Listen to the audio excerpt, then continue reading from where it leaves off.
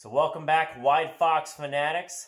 This time, I'm just going to kind of update you on all the small stuff I've been doing. So now I'm steadily cranking away at the Wide Fox, trying to get it together. So last time you saw me do the passenger side fender with a strap on it to make it fit and everything. And then this time I'm just going to give you some updates on where I'm going with everything so that you can kind of see all the little things that you may not recognize later on if I don't show them to you. So here is the driver's side fender. Now I did the same thing on the passenger side as I did on the driver's side or vice versa, driver versus passenger. I ended up splitting it all the way down and I ended up measuring this to about 12 and a half inches. Same thing, it's literally from the edge of the cowl straight out. So think of it that way. 12 inches about the right at the edge of the cowl. I did put in two bolts from the cowl inside going out into the fender, measured the same, drilled them, tightened them, and they fit just about as well as the passenger side did. Not exactly perfect, but within a tolerance that I can sand and fit it to make it fit well. Going to the windshield molding, again, probably about a mill and a half to two millimeters gap up down but definitely fixable with some kitty hair. I got to fix this. And then the passenger side actually fits very well to the point where I, you see there's no strap here because I don't need it. Now, one thing I did do different on the driver side fender uh, versus the passenger is I did not forget to put in this bracket that's behind here. So this side does have the bracket. And after I did it all and I put the bracket in prior to putting this on, I just used some of the same riv nuts, the quarter by 20 riv nuts that I put in for the rest of the wide body. And the bolts from the original fender actually fit. They're a quarter by 20. So yay, didn't have to do anything there just to bolt them on. Everything fits well and this bracket, I will say, is needed. So I'll fix that on the passenger side where I didn't. And it's actually needed because it gives you a lot more stability to hold this fender in place versus letting it flex. So have to fix that later. So I think I mentioned this already that this radiator and obviously these hold downs are not going to fit under the hood. The radiator, if I remember right, actually fits or should sit level with this. So this is a Be Cool, I think it's either a three core or four core. I think it's maybe a three, but it's a Be Cool brand radiator that I got out of the 92. What I'm going to do with this is just actually buy a cover that bolts here, goes up and over and mounts the radiator. I had thought about doing my own where I was going to uh, basically bend it all myself and do everything. And honestly, I, I think just trying to do it without a true brake, with doing it with like two i4s and hitting with a hammer and everything else, I just don't think it's going to turn out. So I'm just going to spend the money and buy one of these. So I'm kind of looking for one of those, but I'll figure something out. And I may have to lower this on the Team Z piece because there's kind of a, an aluminum piece that holds it together that's actually pushing it up. So I'm to have to modify something. I just don't know what yet. I got to figure that out. So to come, this will have to be fixed. So now, if you remember back when I power washed all of the transmission and that, you remember I had said that I thought there was a bolt broke off on the shifter itself, where the shifter is bolted to there. So I took that off last night, took the shifter off, and what I realized was whoever had gone into the transmission, which I think somebody has either rebuilt it or done something with it, resealed it at least, they just forgot to put a bolt in. So thankfully that was a very easy fix. Just re-siliconed it down and then put in an extra bolt and the shifter is all in perfect, good. So if you look behind, there's no transmission because I've actually already put it in the car and I'm waiting on the cross member to go in. So the cross member itself, if you remember, this one is the one I kept from the 92 because it matches the V8, the double hump. The car is an 80, so those won't bolt together. The difference is in the ends. So the 92 or the later models, they're actually wider where they mount into the car. The earlier models, like 79, 80 and that, and I'm not sure what year changes, but it's actually thinner. So I ended up measuring the car last night and it's about 66 to 70 millimeters. Now, let me tell you this. I've worked so long working in auto factories, Japanese auto factories, that I don't think in inches. So if you hear a lot of what I say is in millimeters, because that's where my mind works. I don't even know how to calculate three eighths and all that other stuff in inches. I literally think in millimeters in my life. I know, it's weird, but that's how it is. So everything I do is in millimeters. So the car itself, the 80 chassis, is somewhere in the 66 to 70 millimeters range. Now, for those playing at home, it's in the two and three quarter range. Let's call it that. This was too wide to go in there. This was probably about three inches wide. So what you can do, if you ever need to do this, to take an older, let's just say this, a newer model, a later model in the Fox, and convert it to go into a early model car, what you'll do is take these bushings off. Now, these are just rubber bushings that fit in there. You'll take them out and then go literally against this edge and cut them off. I did it with a hacksaw in about 20 minutes, but just take out the bushings and the center piece, the bolt structure itself, which is this. Take out this bolt piece, and you literally make it smaller. So you can see I cut the ears off. This used to be on there, just like that. And of course, this other side had another one too. So then once that was modified, both ends, the rubber itself is still in good shape, so I'm to reuse it.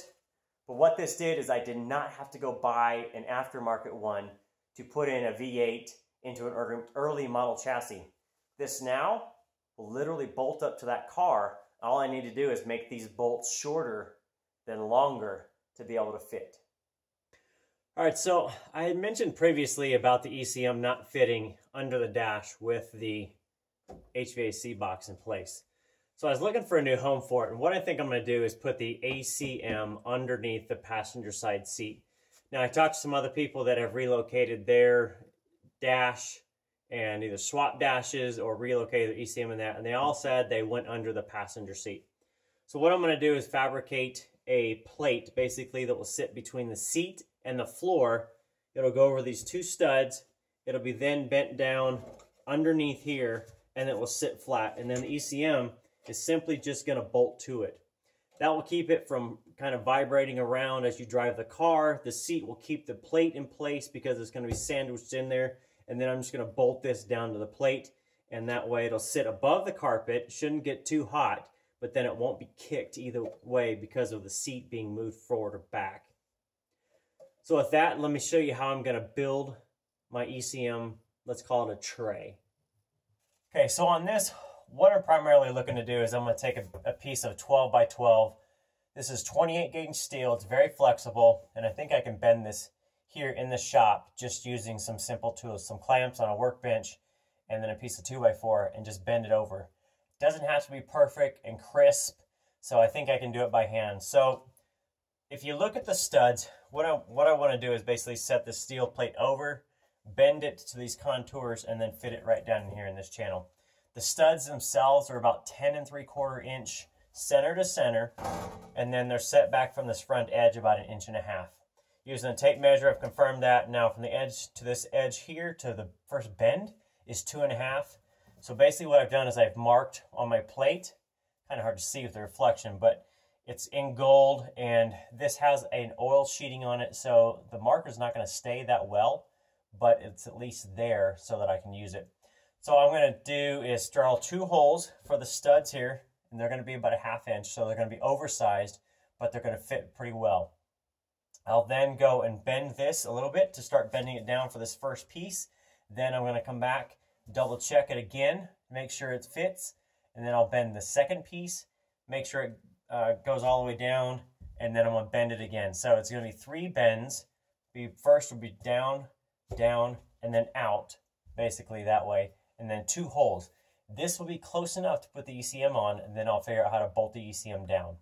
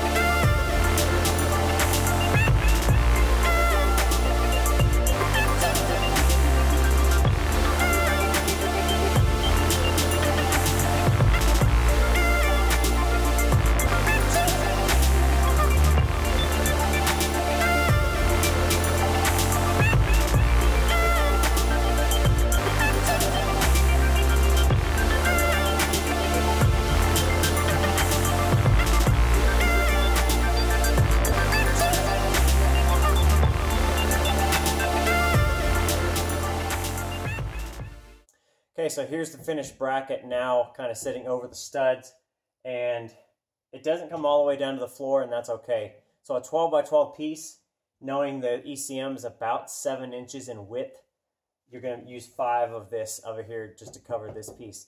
So now if, if I feel like this bounces too much or whatever, I can always do something different. I've got a bunch of different uh, foams and different else in here in the shop that I can put on the bottom side to help try to alleviate some of this bouncing.